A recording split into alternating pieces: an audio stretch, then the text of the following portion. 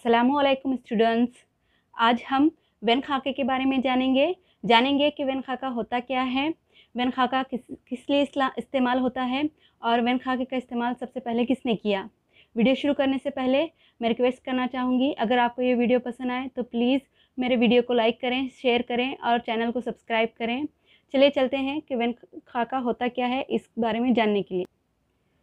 When खाका असल में सेट को बन शक्ल में लिखने का एक तरीक़ा है, जिसे सबसे पहले इस्तेमाल किया है बरतानवी फ़िलासफ़र जॉन वेन ने। चलिए देखते हैं मिसाल के ज़रिए कि सेट को बन शक्ल में किस तरह से लिखा जाता है। देखिए, दायरा एक बन शक्ल है। हम मिसाल के तौर पर एक सेट लेंगे। A, one, two, three, four five हमने एक सेट लिया है ए जिसके अरकान हैं एक से पाँच तक, और हमें इस बन शक्ल में सेट इस सेट को ज़ाहिर करना है, इस सेट को लिखना है। तो किस तरह से लिखा जाएगा? सबसे पहले तो हम सेट के नाम को ज़ाहिर करेंगे सेट के नाम को लिखेंगे, फिर उसके अरकान जितने भी अरकान मौजूद हैं सेट ए में, उनको हम दायरे के अंदर लिखेंगे, खाके में लिखेंगे।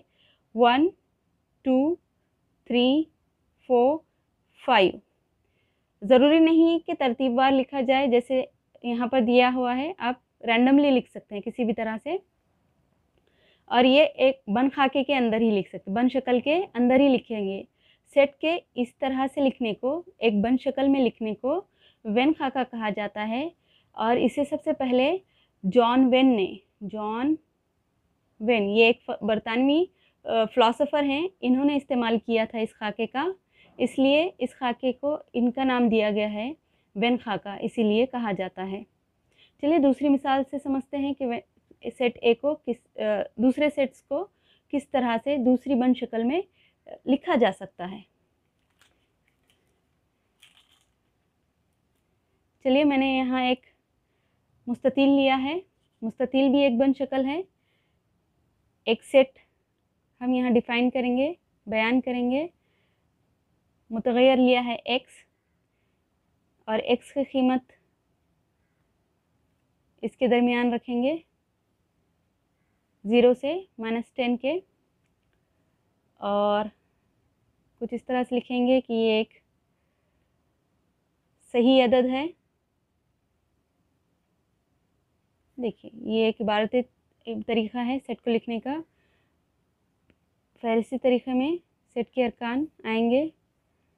Zero, minus one, minus two, minus three, minus four, minus five, minus six, minus seven,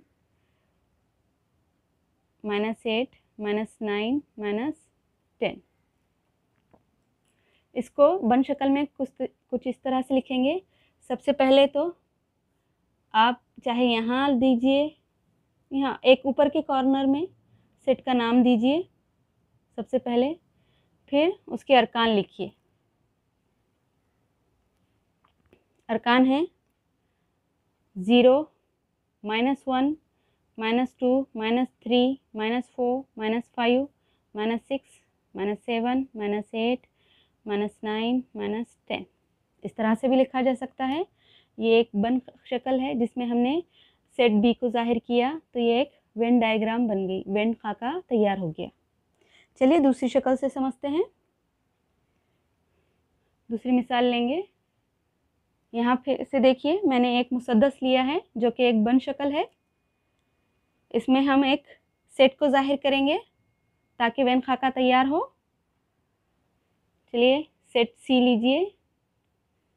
जिसके अरकान A, B, C, D, E, F. हमने लिए हैं। अब हमें इसे वन बन शक्ल में ज़ाहिर करना है। सेट का नाम लिखा है सी